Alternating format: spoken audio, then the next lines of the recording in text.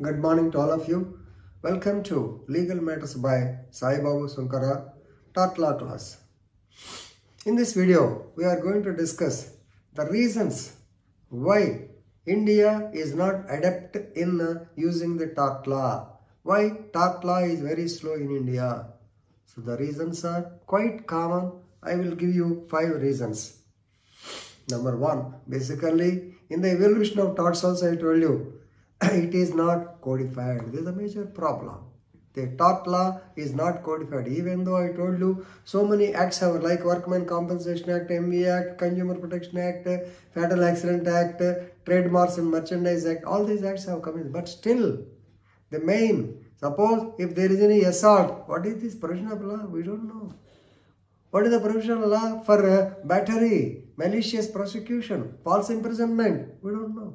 So this is the major problem. It's not a codified law. Suppose if it is a case of, uh, uh, so for example, take for example, it is a case of dacoity, already straight, 395 Indian Penal Code, yes, he is liable for punishment up to life.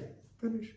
But here it's not codified. This is the main problem. The first problem is always problem of uncertainty it is very difficult to decide whether it's a tort or not. So therefore, we will give the legal example like uh, injuria sine damnum and sam damnum sine injuria. Don't get confused. You will understand it very well. I will tell you in the class.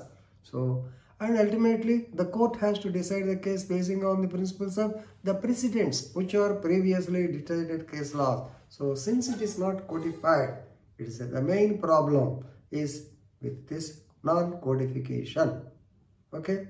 Number two. Then uh, ignorance of law. Ignorance of law and poverty. Number three. These two can be combinedly studied. As anyway. Ignorance of law is the major important. Suppose i will tell you an example. When we were in uh, usa in my daughter's house they have ordered for some pizza. My wife wanted because that being uh, saturday or so my wife wanted uh, the something to be vegetarian. The base will be same for pizza, but uh, base sprinkling will be vegetarian. My daughter ordered the pizza, but instead of vegetarian, they brought a non-vegetarian pizza. That too, it was Saturday. Some non-vegetarian. Then, when my daughter informed them, they, she has, uh, of course, left and right itching matter. They brought another vegetable pizza and they said, we are very sorry, excuse me. I suppose, can you expect the same in India? Uh, so, law, ignorance of law is very much in India. We don't know. Even I have given the first mother autonomic example. Whenever a boy falls on the road and gets injured, then what the mother will say? She, they, she doesn't know that the person doesn't know that he has got right to file a case against the municipality who has to maintain the road. So this is the topic of ignorance of law. Number of people, they do not approach the court due to ignorance, illiterate and unaware of their rights. Third point is poverty. This to be actually combined studied, but anyway, poverty. Due to poverty, yes, law is not that easy. To approach a lawyer is difficult. You have to pay money, otherwise we will not come. If you want to file a case in the High Court, minimum 50,000 you have to spend. And if you want to file even a simple case, yes, definitely 5 to 6,000. Already you are the sufferer, you have received injury. Why going to the court? Why going to lawyer and uh, think so? Therefore, due to poverty also, people are not coming forward to file the cases. Of course, you know, uh, under Article 39A, free legal aid is there. So when that topic comes, I will tell you. Then lack of political willpower. This is on the behalf of the state. Yes, when you have made MV Act, when you have passed the Consumer Protection Act, like that, why can't you prepare a tort law, specifically codification of tort law? So they don't do it. The willpower, the legislature, this is the part of, uh, so lack on the part of the political willpower, lack of will. So political people, that means the party in power or the government. The formation of adequate law and implementation not desired by the political representatives because they are not interested because these are all petty offences.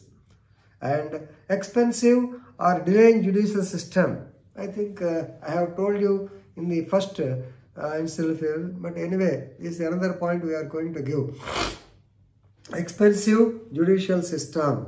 Just like approaching lawyer is expensive, likewise even the court is also not that easy. You have to move around the court, number of adjournments.